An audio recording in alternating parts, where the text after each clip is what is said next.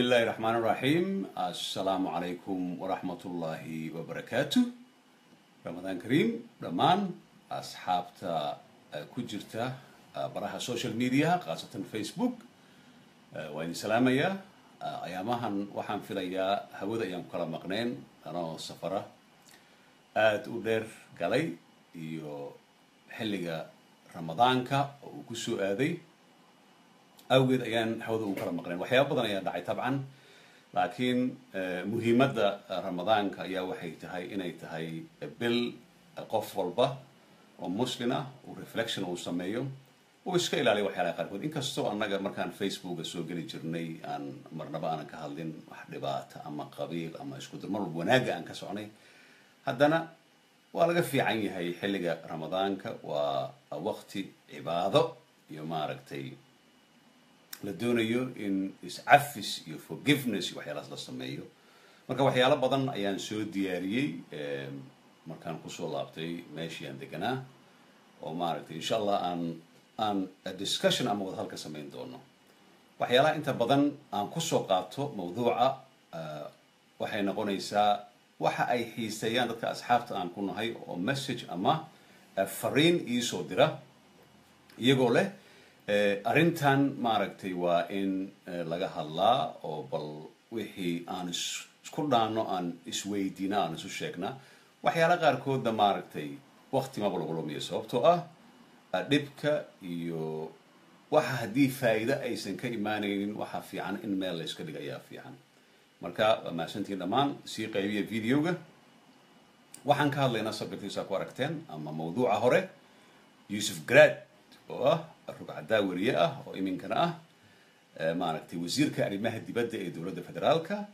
Waxaan kaloon ka hadlaynaa wiilkan soomaaliyeed ee la yidhaahdo mahad abiib la yidhaahdo oo arrintiisa qof walba aan filayo inuu ka dhadhegsan yahay qofkaan ogeyna insha allah u sheegana iyo waddanka norway. Waddanka norway saan ognahay soomaali badan ayaa ku nool waa waddan qaxootiga qaabila oo maaragta dad badan ay ku dhaqan yihiin oo dhowr iyo afartan sano konton sano iyo xilliyadii dagaalada maar dad badan lagu qaabilay. Ilaa haddana lagu qaabila dadka. Marka toban sano ka hor ayaan tegay magaalada oslo iyo magaalo kale u dhow. Waa runtii meel iska degan oo joogeeda iska fiican yahay. Soomaalidu ay ku nooshahay wax dhib aan ku qabin. Inkastoo luqadooda iska tahay luqad maaragtay iska waddankaas keliya waddamada meelo qaarkood ka mid ah waddankaas. Lakiin soomaalidu ay isaga nool yihiin waa waddan maaragtay qani ah. Haddii loo fiiriyo waddamada kale yurub. Marka arrintan ayaamahan dambe la isla daba socday waxay ahayd wiilkan soomaaliyeed ee la yidhaahdo mahad abiib oo dhalashadii norwegianka ama norway lagala noqday. Arrintan waqti badan ayay socotay. Dabcan taariikh ahaan sidaan ku soo baaray mahad waddankaas wuxuu yimid almost waqtiga labada kun marka la soo gelayay sagaashan sagaalki labada kun ma xaqiijin karo. Xiliyadaas ayuu yimid waddankaas nin dhalinyaro ah oo aan dhihi karno dadiis waxay udhexaysa soddon iyo shan ilaa iyo afartan udhexaysa meesha ayuu wax ku bartay. Waxaa la ii sheegay inuu bartay maaragtay shaybaarka ama laabka inuu bartay oo meel heer sare u gaaray. Waa dadka waxa bartay oo kolley qiimaha leh. Dhalinyarada markay wax bartaan qiimo ayay leeyihiin. Marka ninkan dhalinyarada ah arrimo aada u fara badan ayaa la soo dersay oo ay ku gaartay in dhalashadii waddanka norway lagala noqdo taas runtii dhib badan ayay u keentay sababtoo ah dhalasho haddii lagaa celiyo ma ahan inay adduunka ay dhamaato laakiin waddan haddii aad ku nooshahay maaragtay carruur aad ku leedahay wax aad ku baratay haddii maanta la yidhaha dhalashadii meel aad dhaqaaqi kartid male meel aad u safri kartid male xataa meeshan ugu dhow sacuudigan oo loo aado maaragtay cibaadada loo aado ma tegi kartid. Marka dadka qaarkood way u fududa inay yidhahdaan dhalasho norway ama dhalasho ingiriisdi laga qaaday sow inay yidhahdaan laakiin sow ma ahan. Marka adiga bal ku raadso bassabort somalia ama dhalasho somalia haddii visa aad ku raadsid aad ay u dhibantay marka waxyaabaha ugu badan waa safarada iyo fududeeya waddanka degnaashihiisa waddana markaad degan tahay waxaa mar walba muhiima inaad sharciga ku leedahay. Marka waxyaabihii markaan barbaaray arrimahan tashwiishka waxay ku furmeen waqti aada u dheer. Qof walbana waa ogyahay hadda haddii aad qortid mahad magaciisa aad ku qortid abiib aad ku qortid maaragtay social mediaha iyo google aad ku qortid waxyaabo badan ayaa ka soo baxaya horta laba mid waa inaan isku raacnaa.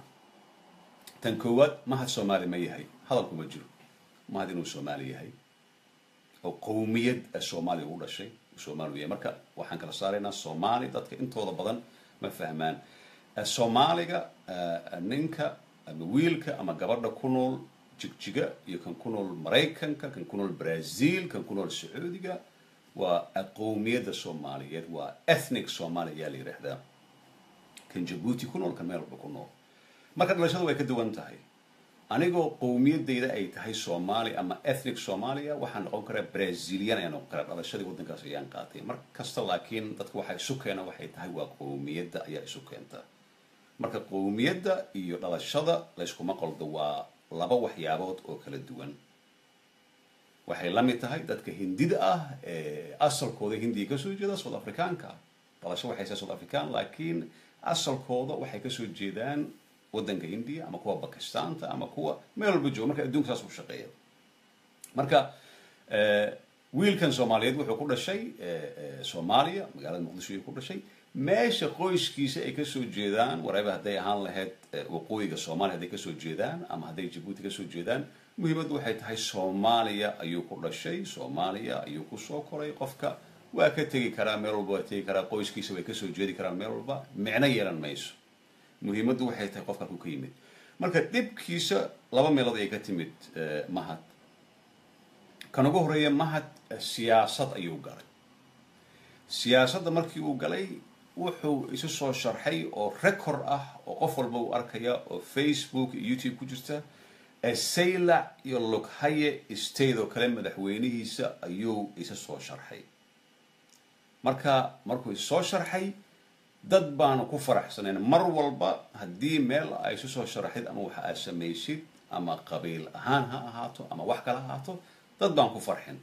Calaa ayi xaal markuu issoo sharxay oo arrimahan u dhexda ka galay waxaa dhacday in si hoos ah loola dagaalamay oo maaragtay la keenay waxyaabo maaragtay documents ah waxaana muhiima in la ogaado dadkeena soomaalida ee qaxootiga ku soo galay qurbaha qof maanta ma jiro yiri siduu asaga haa uu sheegay. Qof ayaa wuxuu ku leeyahay isagoo ku dhashay berbere iyo wuxuu ku leeyahy waxaan ku dhashay baydhabo waayo xilligaas waxaa la qaabilaya reer baydhabo. Waxaa dhici karta qof ku dhashay kismaayo inuu yidhahdo waxaan ku dhashay saylac waayo xilligaas waxaa la qaabilaya saylac marka inta badan recordkeeni waxyaalahaas waan ilowna waxaan sheegnay oo markaas been ah laakiin annagu inaan ku badbaadna u samayn marka beentana waa la iloobaa marka siduu isku dhiibay wuxuu ahaadaba waxa si ogooniya laakiin record ama waxyaabo isaga laga hayay ayaa banaanka la soo dhigay oo waxaa la yidhi ninkan waa reer jabuuti ayaa la yidhi. Kaas waa ko arrintaasna waxay ka bilaabatay saylac iyo loghaye state iyo siyaasadda markuu ka hadlay waa iska garan karnaa siyaasadda waddankeena mar walba iska qalibsan tahay. Qof ku farxaya male qof walba ku farxaya male qofkii la doorto wuxuu ahaadaba kan kalena oo aan hubin oo laakiin sida la iisoo sheego waxay tahay in maxkamad ka socotay waddanka ingiriiska ee dowladda jabuuti khaasatan madaxweynaheeda iyo dad kale isku haysteen ayuu isagoo taageeraya madaxweynaha jabuuti ayuu ka qayb galay. Meelaha ayaa lagu arkay waa la basaasay waxyaalaha lagu sameeyey. Waxay ahaataba waa laga shaqaystay mahad marka mahad inuu soomaali yahay ma shaki baa ku jira maya boqol kiiba boqol shaki kuma jiro. Qoyskiisa ka soo jeeditaan hadda af soomaaligii qalafsanaa wuxuu noqday in la yidhaahdo anigu waxaan ahay reer muqdisho laakiin reerkayga wuxuu ka soo jeedaa. Markay yidhaahdaan qabiilkaasaan ahay oo af soomaali nooc kale ah ayuu noqday. Marka lama dhihi karo aniga saanay ahay. Laakiin muhiimaddu waxay tahay qofka hadduu soomaali yahay meeshuu waddanka ka joogo waa soomaali un laakiin haddii dee hadda waddankii wuxuu iska noqday federaal iyo in dadkii gobol gobol loo kala dego marka qof walba gobolkuu ka yimaaday qabiilkiisa ayaa lagu durkiyaa waa waxyaalaha jira facta ah ee laakiin inta badan laga xishoodo oo inta facebook la soo fadhiisto ama meel kale la yidhaahdo qabiil hebel saan qabiil hebel inta saan aan la dhihi karin. Ayaa jira.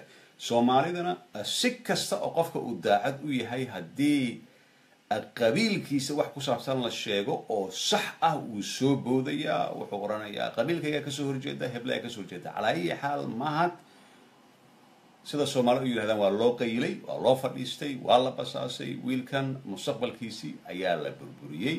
Kaasoo ah in maaragtay dhalashadii wuxuu ku shaqaysanayo wixii laga qaaday markaa shaqo badan ayuu qabtay meelo badan ayuu tegay markii dambe wuxuuba go'aansadayba haddii waddankii idinka aniga aan ku noolaa aan wax ku bartay aadan ii ogolayn waddankaygii soomaaliya ku noqonaya.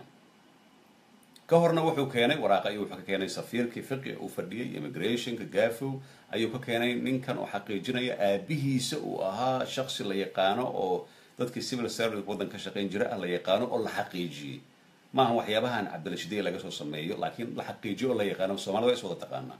Marka hore soo xaqiijiyey saas iyadoo ay tahay waa lagu sii xumeeyey waxaa la ninkan waa jabuutiyaan marka qofkan hadduu soomaali uu yahay ethnigiisa ama qowmiyadiisa ay tahay tabcan jabuutiyaan uu noqon karaa dhalasho kale ayuu haystaa.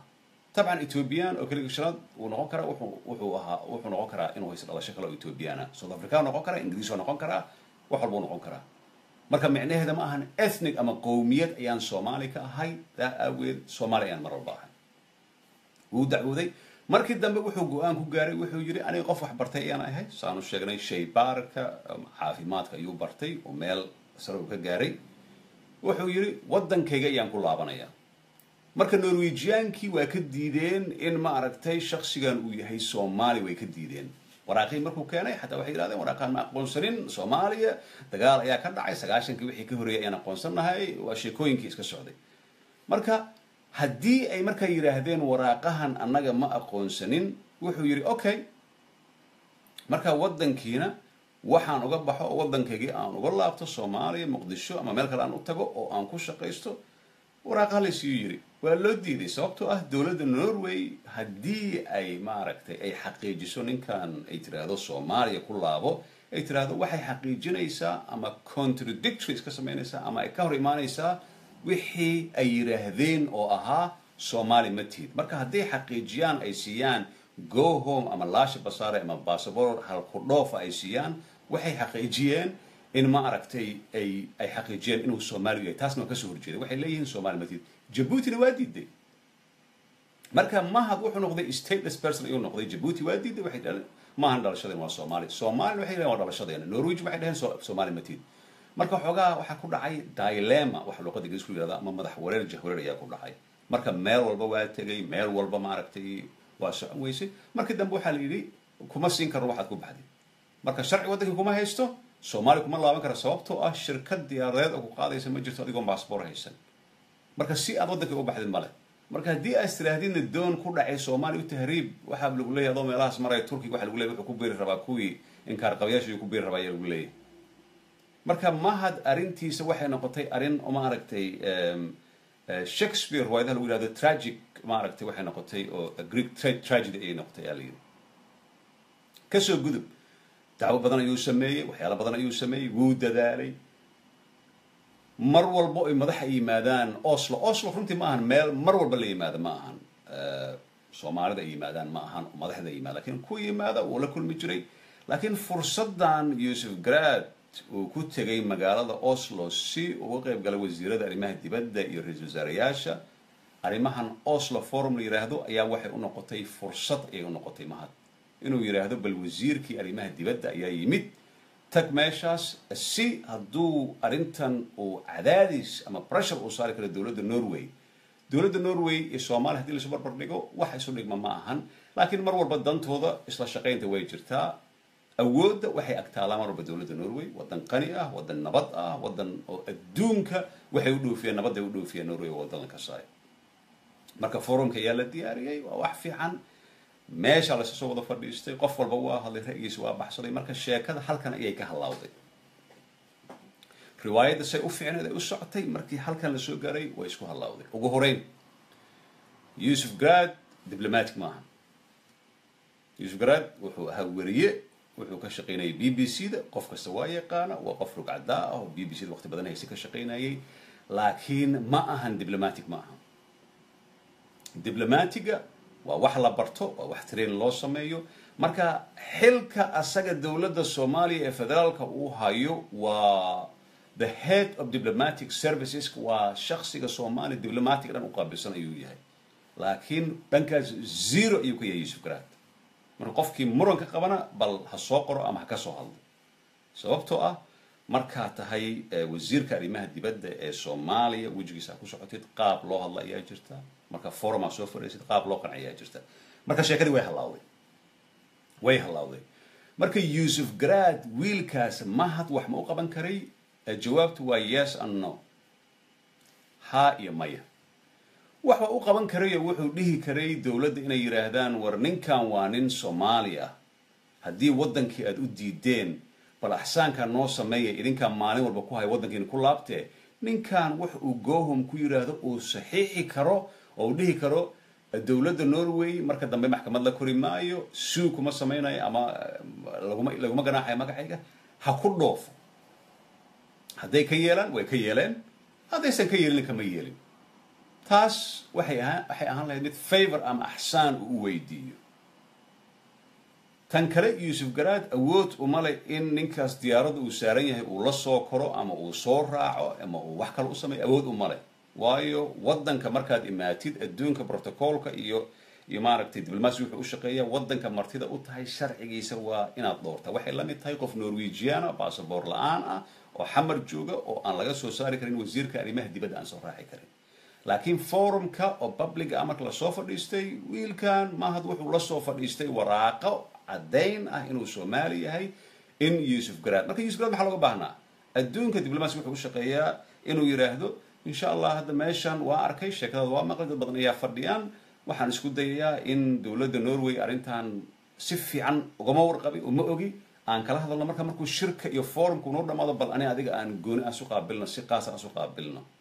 Waa dhihi kara waa ereyada iyo hadallada diblomatigada laakiin markii arrin serious ah oo sax ah oo la doonayo inaad wax ka qabatid ay meesha ay taalo adiga meesha kaftan iyo cabdalla shidey iyo waraaqahan iyo waxaas aad ka dhigtid waxaad noqonaysaa undiplomatic ayaad noqonaysaa protocolkii oo dhan ayaad luminaysaa adduunkan markaasoo ku arkaya. Marka yuusuf garaad iyo dowladda soomaaliya hadda waxaa lagu eedeynaya waxay tahay in golihiiba ay ka dhigeen meel ma aragtay iska ha lagu kaftamo ama meelaha maaragtay maqaayadaha dadka baagamuundada ah ay shaaha ku cabaan ay ku sheekaysaan ay ku qoslaan. Ma ahan forumka wuxuu ahaa wax serious ah reer norway runtiisu dhaweyn fiican ayay sameeyeen.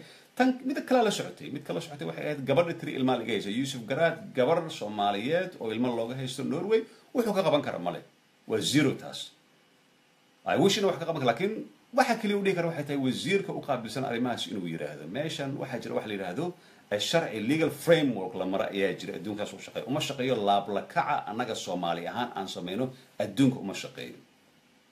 Framework wadda la mara ayaa jirta. Xataa meelaha qaarkood laguma ogolo inaad tagtid haddii marti aad u tahay dowladda norway ama ingiriiska laguma ogolo meelaha qaarkood inaad tagtid.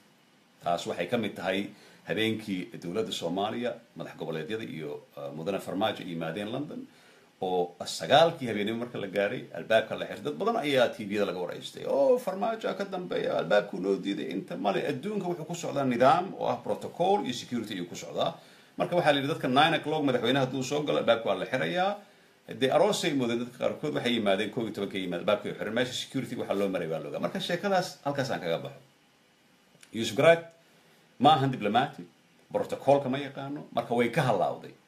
Teeda kale adduunka hadba saa dadka ay isu tustid dadka markay ku soo dhaweeyaan meel aad tagtid hadba saa isu tustid ayay ayay ku arkayaan. Waxaa la rabay wiilkan isagoon waxna u qaban karin in uu qanciyo ayaa la rabay mahad waxaan hubaa mahad inuu soomaali yahay dadkana ay hubaan inuu soomaali yahay laakiin cadowgiisa ama dadka cadowga uu samaysay qof walba cadow ayuu leeyahay ayaa u tashtay. Marka loo tashay saas ayaa lagu sameeyey marka yuusuf garaad xilligaas waxaa laga rabay inuu yidhaahdo mahad bal wasiiradii ayaan fursad u helayaa waan la hadlayaa. Xataa haddii xataa waxba lagu samaynin in laasha basaara ama wax aad wadankii aad tiraahdid wadankiina dambe doonima inaan ku soo laabto. Laakiin waraaqahan inkastoo aabihiisana la kasayay in la yidhahdo waraaqahan cabdilla oo lagu qoslo waraaqahan saxmiya inta waxaas la yidhaahdo xoogaha taasna waxay tusaysaa dabeecadda ama characterka markaas isaga uu yahay wasiirka arrimaha dibadda wasiirka arrimaha dibadda aniga shaksiyan maaragtay wuxuu ku fiicnaa inuu noqdo wasiirka warfaafinta inuu noqdo. Sababto a dhankaas ayuu khibrad u leeyahay. Waayo diplomatic marka la yidhaahdo ereyga isticmaashid oo lagaa duubo ama video ama cod lagaa duubo wuxuu ahaadaba meel dheer ayuu gaaraya. Ma noqonaysid aniga ama idinku hadlay ma noqonaysaan. Waayo hadalkeena waxaa laga yaabaa inuusan meel dheer gaarin. Lakiin isaga markuu dadka uu si xoogaa ayaa sitaan ama kaftan ula hadlo serious ma noqonaysid. Dadka mar la kaftama way jirtaa mar walba marka la hadlayo kaftan wuu jira. Laakiin inuu kaftamo maaragtay waraaqahan wiilkan uu soo dhigtay oo xoogaa stresska ku riday oo dhibaatadan u keenay oo wax walba. Hadduu ahaan lahaa dadkan maaragtay hari habeenka ceerta iska qaato oo meesha iska fadhiyo oo oo dhibka waddanka u keena waxaaba dhihi lahaa in xataa gacan la siiya ma ahan. Laakiin ninkan waa nin waddanka hadda xataa u baahan yahay soomaaliya oo shaybaar bartay oo cudurrada dadka maaragtay wax kaga caawin kara oo in gacan la siiya ay u baahnayd marka dhankaas ma aragtay dowladda soomaaliya sababtoo isaga hadda yuusuf garaad wuxuu ku socday magacii dowladda soomaaliya. Dowladda soomaaliya dhankaas waa ku banjartay.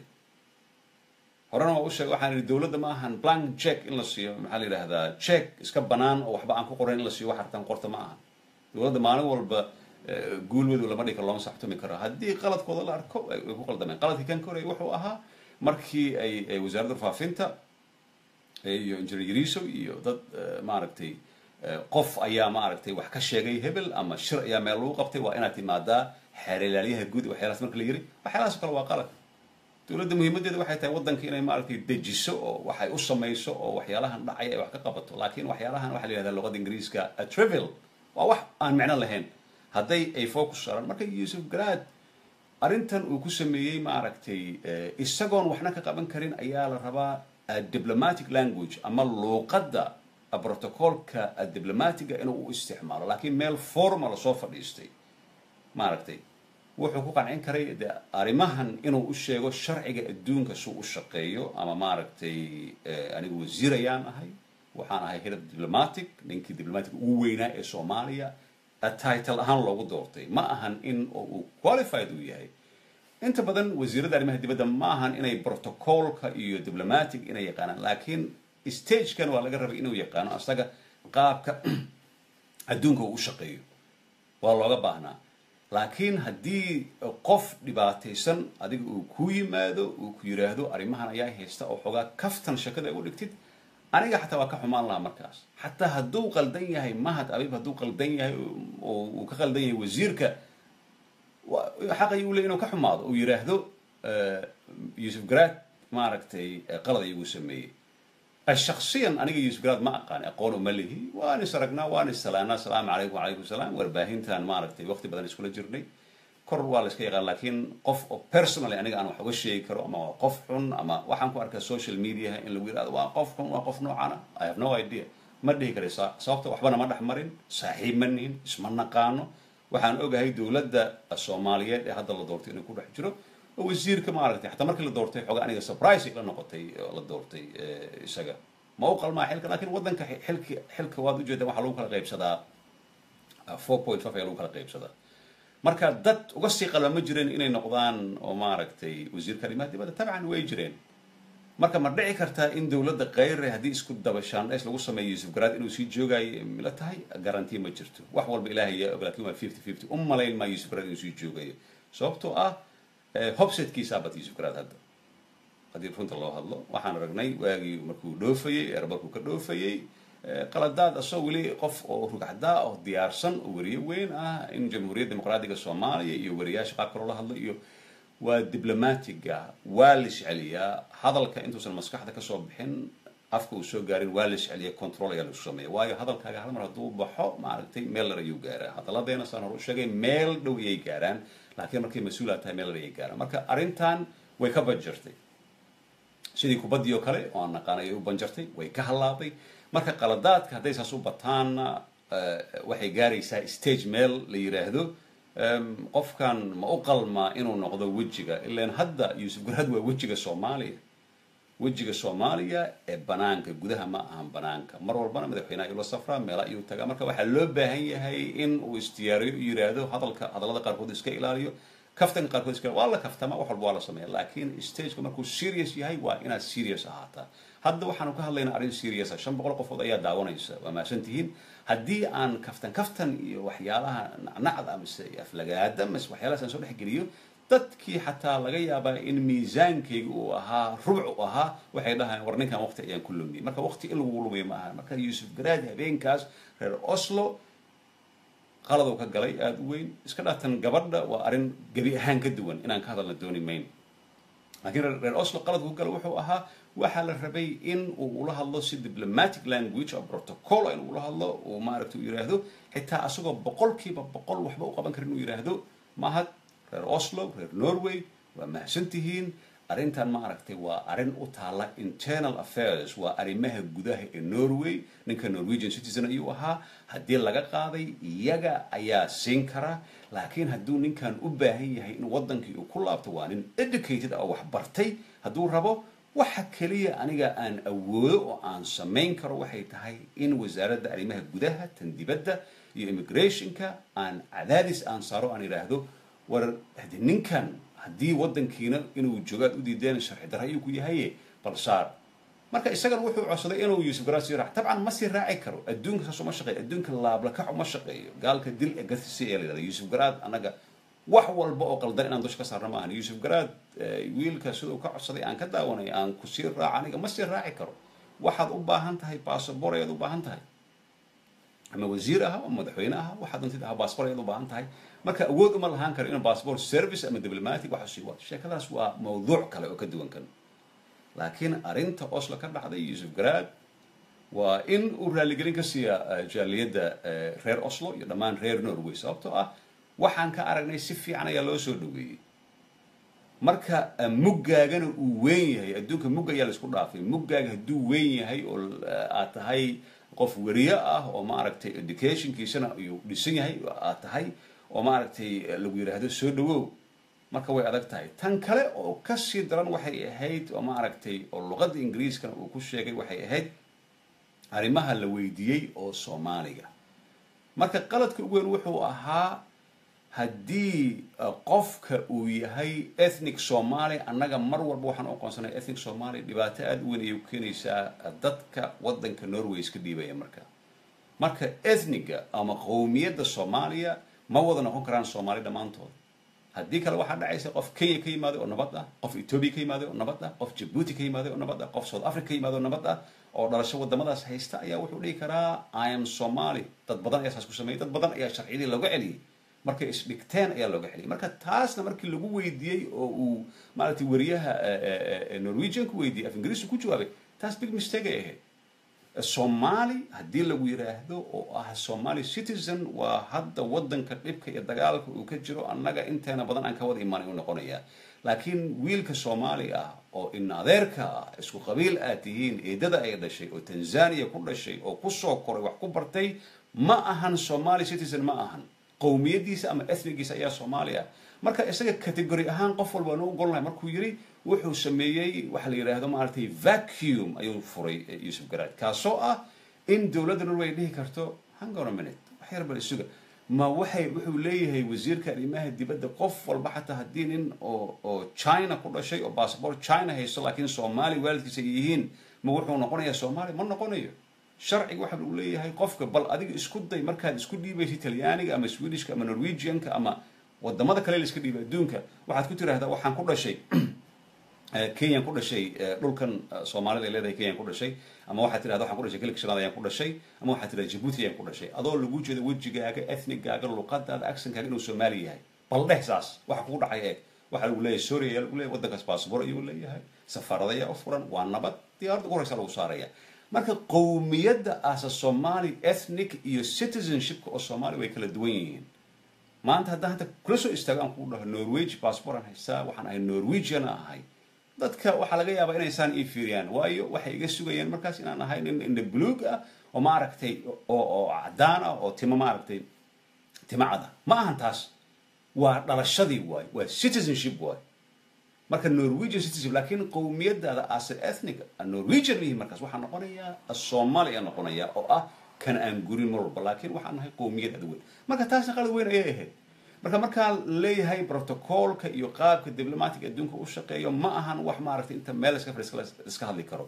Hadalkaada waa la controla. Dadka diblomaasiyiinta qaabka buwaag ayaa jirta ay ka soo saareen ilaahay u naxariistay diblomaatiga soomaaliya. Ugu weynaa marxuum maxamed cusmaan cumar oo dhowr sano ka hor dhintay iyo waxaa jira ambasadoryaal ambasador caalim iyo ambasadoryaal aad u fara badan ayaa buwaag ay soo saareen ayaa jirta oo la akristaa jirta. Oo adduunka maaragtay marka haddii lagu yidhahdo xataa maaragtay lagu weydiiyo su'aal siyaasi haddii aad tahay diblomatic haddii aad tahay weligaa si toosa laguma jawaabo tusaale ahaan haddii hadda lagu yidhaahdo maaragtay soomaaliya muqdisho maxabada ka dhacaysa ma dhehaysid xabad ayaa ka dhacday meeshii waa lagu baaba-ay sidaan ma dhehaysid waxaa dhahaysa xoogaa security problem yar waa iska jirtaa wax wax iska dhacaan siday uga dhacdo london hadda bishan aan ku jirno afar meelood ay wax ka dhaceen marka waxaa la sameeyaa oo la isticmaalaa luuqad noocaas ayaa la isticmaalaa. Laakiin haddii ala soo meesha waa lagu go'ay maalin walba xabad ayaa la isku dhuftaa. Laga sheegay waxay la tahay wixii ka dhacay london oo maalin walba soomaaliya laga sheegay ay la tahay. Marka taas wasiirka gartiisana waa leeyahay oo wuxuu qaban kara ayaa la mid ahayd laakiin damage weyn ayuu gaarsiiyey. Damagekaasna ma ahan mid isagoo ku eg shaksiyan sababtoo ah sheekada aan ka hadlayno yusuf garaad maaha. Yusuf garaad waa individual waa shaksi waa shaksi soomaaliyeed waa qof soomaali magac. Ku leh oo qof walba uu yaqaano isaga ma ahan. Wuxuu ku socdaa magacii dowladda soomaaliya ayuu ku socdaa magaca ra'iisul wasaaraha magaca madaxweynaha magaca soomaaliya magaca wasaaradda arrimaha dibadda. Kolley inteena fursadda qaaliga u heshay inay bartaan qaabka maaragtay u shaqeyso wasaaradda arrimaha dibadda. Qaarkiini la soo shaqeeyay qaarkiini work experience shaqooyinkan hadda la yihahdo shaqa kubaradka ku soo arkay meesha waa yaqaana adduunka protocolka iyo wasaaradda arrimaha dibadda say u shaqeynaysa qaab ay u shaqeysa ayaa jirtaa qaab diplomatic u shaqeeya ayaa jirta. Marka laakiin haddii sheekada ay noqoto donald trump oo kale intaan soo qabsado microphone ayaa waxaan doona iska dhahay waa iska hadlaya adduunkaas uma shaqeeyo. Marka aniga ra'yigan aniga shaksiyan igu kooban saan u arkay oo dhexdhexaadka aan ka ahay waxaan u arkaa yusuf garaad iyo dowladda soomaaliya in ay raaligelin siiyaan jaaliyadda reer oslo ay siiyaan iyo khaasatan reer norway ay siiyaan oo yidhaahdaan xogaha waa naga halawday ay yidhaahdaan. Sababto a dadkaas waa dad muhiima waa soomaali. Dadku waxay meesha kugu yimaadeen wax kale ma ahan jaceylka iyo nabadda iyo wax walba waddanka dowladda cusub ay wado laakiin micnaheeda ma ahan dowladda soomaaliya cusub in la yidhaahdo wax walba idinka aad sheegtaan oo aad samaysaan qalad iyo qalad darro ma aragtay waa sax. Qof aan qaldamin male qofka waa qaldamaa qalad waa galaa laakiin qofka ugu fiican wuxuu noqonayaa in qaladkiisa uu ka soo laaban karo oo dhihi karo this is the mistake. Qaladkan ayaan samaynay marka arrintan ka dhacday oslo runtii ma fiicneen. Boqolkiiba boqol lama lama dhihi karo yuusuf garaad ayaa ka mas'uul ah waxaan ay dhacaan ma ahayn. Sababtoo yuusuf garaad waa la soo hosgeliyey waa loo sheegay saan ayaa la yidhi waa dhegaystay yarka wuxuu la yimaaday waraaquu la yimid evidence uu la yimid wax walbuu la yimid laakiin jawaabtii iyo sidii la rabay qofka waxaa jira qaab loo qanciyay xataa adigoon waxba u qaban karin. Qof hadduu maanta ku yimaado waxaa leedahay i wish i can help you. Wallahi waa ku faraxsanaa inaan gacan ku siiyo laakiin awoodeyda maba gaarsiisana qofka ku qancaya laakiin haddii ay tirahdid haye adoo qosol ida tirahdi cabdilshideeni mise waraaqan horta ma jiraan mise inta saan saas daa tirahdi qofka wuxuu arkaya xataa adoo qof fiican wuxuu ku arkaya inaad yasaysid ayuu ku arkaya de haddii aad mas'uul tahay qofka ma yasi kartid meesha waxaad u joogtaa ummadda inaad u shaqaysid ummaddaasoo ay including ay yihiin ay ku jiraan dadkan qurba joogta inaad u shaqaysid. Sababtoo ah taageerada ugu badan ee dowladda ay helaysa mar walba waxay ka imaanaysay dhanka iyo qurbaha ayay ka imaanaysay. Marka waxaan u rajaynayaa intaanan ka bixin meeshaan maaragtay in dadka oo maaragtay maamulka waddanka haya in xataa haddii loo heli karo fursad lagu siiyo lagu siiyo mahad abiib siiyo oo waddankii ku soo laabto mahadoo kale waddanka ayaa u baahan. Wuxuu u baahan yahay waa nin wax bartay oo maanta soomaaliya wax ku soo kordhin kara. Maahan ilmahan gaangistarada ah ee maaragtay bistooladaha dadka madaxa ka saara ee meelahaas jooga iyo maaragtay xabsiyada ku jira ma aha waa nin wax bartay oo maanta shaybaar oo bartay meel dheer uu ka gaaray. Maanta hadduu yimaado waxaa laga yaabaa maaragtay in naf oo halis ku jirto u badbaadin kara ayaa laga yaaba qofkaasoo kale waa loo baahan yahay. In marka dowladda ay yidhaahdaan ay ay weydiisaan waxaan hubaa wasaaradda arrimaha dibadda yuusuf garaad haddii waraaq codsi ay u sameeyaan. Dadkan scandinavianki iyo waxay ahaadaanba denmark meelahan sweden iyagaaba rabaan dadkan soomaaliya fedha bay ku noqdeen inay iska soo celiyaan. Marka hadday yidhahdaan ninkan anaaba diyaara tikitka xataa kama baahni. Waxaan filayaa in maaragtay hore toos loogu soo celin lahaa ayaa ayaan filaya waddanka lagu soo celin lahaa. Laakiin muhiimaddu waxay ahayd yuusuf garaad mahad abiib iyo reer oslo. Reer oslo waxay u qalmaan in laga raaligeliyo la yidhaahdo habeenkii xaalka nama fiicneen. Haddii laakiin dowladda soomaaliya oo taageero badan hadda haysato oo waddaday ku socoto ay tahay waddo aada u fiican oo wejigoodii banaanka oo uu yidhaahdo oh we don't care. Dad meel maaragtay orientation ama hool isugu yimaado aan ka hadalna la soo dhaar dadku wax ma iloobaan shaabad ayaa kugu dhegaysa. Laakiin qofka wuxuu fiican markuu yidhaahdo war waxay ahaataba ama hoos ha ula hadlo dadkan hala tuso la yidhaahdo war qaladkaas ayaa dhacay. Waa maaragtay qofaan qaldamin male waa naga dhacay waa naga hadlaabay laakiin si aan u saxno wiilkan waddankan ku soo ceshirayn anagaaba u baahan. Waa wiilasha soomaaliyeed ee loo baahan yahay. Mahadna waa boqolkiiba boqol sidaa idinka daawanaya aniga saan soomaali u nahay iyo soomaaliya yahay. Qowmiyadda soomaaliya isla wada nahay. Laakiin meeshay reerkooda ka soo jeedaan iyo meeshay ka yimaadeen nobody cares dadka maraykanka ku oo dhan kulli dadka caddaanka yurub ay ka soo wada jeedaan. Marka lagama yaabo inay yidhaahdaan aniga jermalan ahay inta kulligood waa maraykan. Qofka marka waa soomaali marka waddankan waa u baahan yahay isagaa bale waddankayga inaan ku laabtaan rabaa oo aan ka shaqaysa laakiin ninkii dilema haysta dhibaa haysta jabuuti oo ay ku eedeeyeen oo lagu basaasay kadib markuu u soo sharxay saylac iyo lughay u soo sharxay waa diideen. Waxay dhaheen ninkan jabuutiyaan maaha. Norwejianka waxay leeyihiin soomaali ma soomaalida waxay leeyihiin ninkan waa soomaali ha soo laabto. Norwejianki waxay leeyihiin bassabor kuma siin karno aan ku soo laabto. Sababtoo hadday dhahaan bassabor aan ku siinayna aad ku baxda meesha aad ku tagtid waxay u caddaynaysaa ninkan inuu soomaali aha oo isleeyihin uu idinku kala furaynayaa dowladda meeshan sharci ayaa ka jira norway oo maxkamad dowladda lala koro oo lacag badan laga qado waxaasay ka baqayaan. Laakiin hadda banooniga ama paul wuxuu yaallaa dhanka wuxuu yaallaa yuusuf garaad iyo dowladda yuu yaallaa dadka dowladda ku jira ee asxaabta ah waxaa la gudboon wiilkan mahad abiib in laga soo celiyo norway oo la keeno waddankii lagu soo celiyo. Waxaana waa ugu soo horeyso ama waxa wuxuu ka shaqeynaya isbitaalada waddanka oo u baahan yihiin. Waa nin qof loo baahan yahay waa nin wax bartay oo caafimaadka bartay oo shaybaarada bartay. Waa loo baahan yahay waddanka inuu training sameeyo wax uu sameeyo. Marka qofaas kale dowladdu waa in ay maalgelin ku samaysaa investment ay ku samaysaa ee waddanka ku soo xelisaa laakiin sheekada hadday noqoto hal isaga aamus waa la iloobi iloobi maayo record ayaa yaalla marka mana doonayno yuusuf garaad oo aan filayo inuu yahay shaksi maaragtay fiican intaan aan ka aqaano in isaguna uu noqdo nin maaragtay loo arkay inuu xoogaa arrogant uu yahay ama kibir meel walba ula tago oo qaabka u hadlo. Waxaa laga yaabaa inuu yahay the nicest guy in the world qofka shaksi ugu fiican. Laakiin anoo ah qofka adduunka ugu fiican qaab oo oo hadalka aan aan u soo saaro expressionkayga ayaa xun. Qof waxaad arkaysaa muggiisu weyn yahay oo maaragtay xishmad leh. Laakiin afka markuu kala qaado bisinka ninkan muxuu u hadlay? Inan inan inuusan hadlin ayaa loo qaatay ayaa dhaanta oo iska aamuso. Sababtoo ah hadalkaaga iyo muggaaga mar walba isu la hadal laakiin meelaha seriouska marka la tago oo la fadhiisto oo la wada hadlayo waxaa loo baahan yahay muggaaga iyo qalbigaaga iyo afkaaga inay isla shaqeeyaan oo mar walba aad ahaatid wise man aad ahaatid oo hadalkaaga uu meel leer u gaaro. Laakiin haddii ay noqoto qosol qosol iyo kaftan kaftan haddii ay noqoto waxaad noqonaysaa golaha mursida iyo madadaalada noqonaysaa marka kaasna diblomaatiga ama wejiga soomaaliya anaga dibadda aan ka doonayna sababtoo ah dhallinyarada soomaaliyeed odayaasha gabdhaha dadkaas ayaa ka mas'uula dowladda in taageeradan xooga ah la siiyo. Dowladda cadow ayay leedahay. Inkastoo ay iska yar yihiin cadowgana waxa ayaa ka sii daran. Marka cadowga uu dhammaanaya ilaahayna hanaga dhameeyo laakiin muhiimaddeen ugu weyn ayaa waxay tahay in maaragtay wiilkan soomaaliyeed reer norway iyo reer soomaaliya reer qurba joog ay gacan siiyaan ayaa muhiim ah si wuxuu xaq u leeyahy u soo laabto. Waxaana leenahay ramadaan kariim mar kale waa mahadsantihiin sii qaybiya wixii macluumaad ana mar walba soloport dadkum ayaad la xiriireysaan waa idin salaamayaa afur wanaagsan suxuur wanaagsan. Wassalaamu calaykum waraxmat ullaahi wabarakaatu